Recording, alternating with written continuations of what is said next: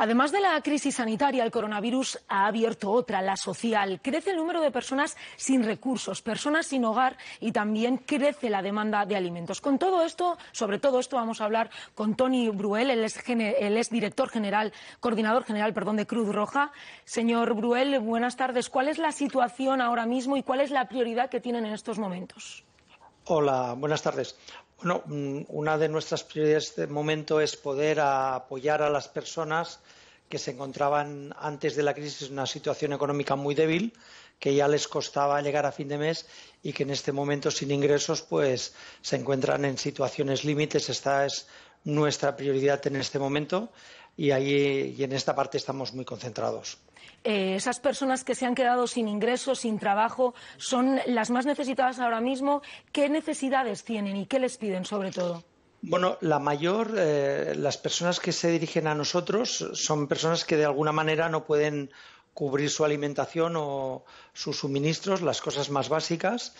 Y por otro lado, también las personas que han perdido el empleo, que están, eh, tienen dudas de lo que tienen que hacer, cómo tienen que moverse, cómo tienen que orientarse y ahí es donde, de alguna forma, estamos colaborando para, paliar estas situaciones, sabiendo que somos parte de un conjunto de organizaciones y de la Administración Pública también que estamos dando distintas respuestas.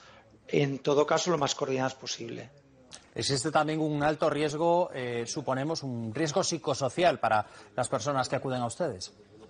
Exacto. Nosotros hemos abierto un canal que se llama Roja Te Escucha para todas las personas que están sufriendo eh, las consecuencias del coronavirus y que necesitan un apoyo emocional o, un apoyo psicosocial, entendiendo que de esta forma les ayudamos a poder sobrellevar la, a poder sobrellevar la situación y, también a darles alternativas y orientaciones generales que puedan serles, que puedan serles útiles.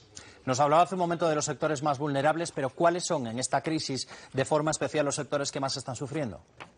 Hombre, el sector clarísimamente que está sufriendo más en el ámbito social son lo que antes veníamos a denominar los trabajadores pobres, las personas que llegaban muy difícilmente a final de mes con el salario que tenían y que ahora además se encuentran sin empleo. Este es el grupo de alguna forma que está en una situación peor. Evidentemente, nosotros no nos olvidamos de las personas mayores que viven solas y que tienen necesidades concretas y que también las estamos apoyando, pero el grupo grande este que comentaba.